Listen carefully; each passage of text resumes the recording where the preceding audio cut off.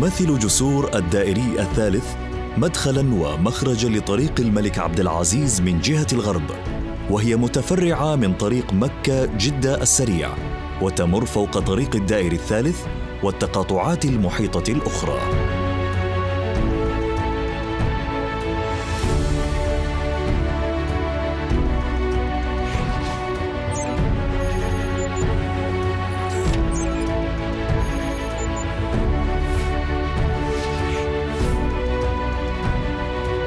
يعتبر نفق المترو أحد المعالم الأساسية لمشروع طريق الملك عبد العزيز ويمر إلى المشروع من الطريق الدائري الثالث ويتوقف في محطة الحرمين.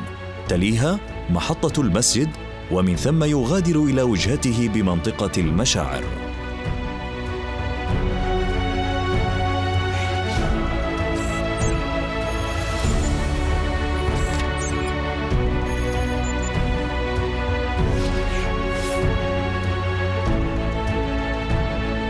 يتوزع على امتداد مشروع طريق الملك عبد العزيز مباني أنفاق المشاة مكونة من أحد عشر نفق متواجدة على جانبي طريق المشاة الرئيسي. هدفه ربط المشروع والمناطق المجاورة له جنوبا وشمالا.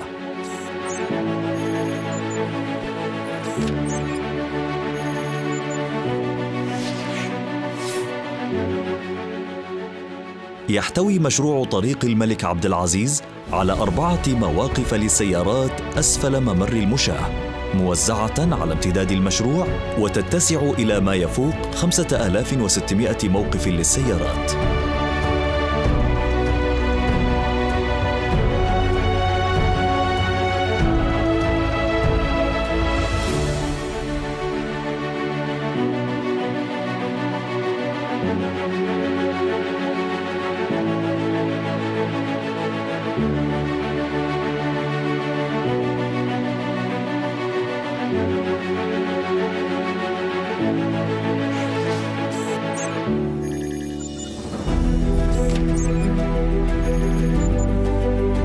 يتضمن مشروع طريق الملك عبد العزيز على محطتين للمترو لنقل الركاب عبر أنفاق المترو.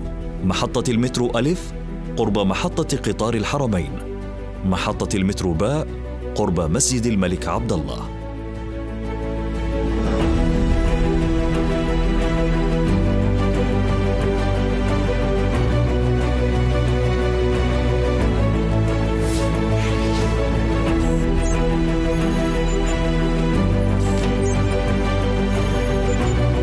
للارتقاء بمشروع طريق الملك عبد العزيز لأعلى المستويات.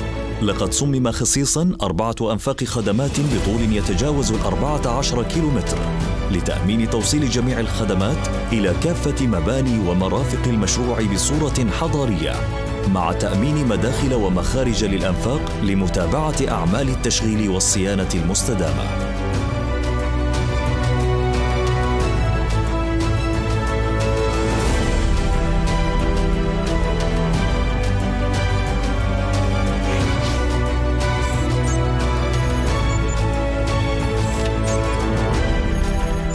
يتقاطع مشروع طريق الملك عبد العزيز مع أربعة شوارع رئيسية وهي شارع عبد الله عريف وشارع المنصور والدائري الأول والثاني.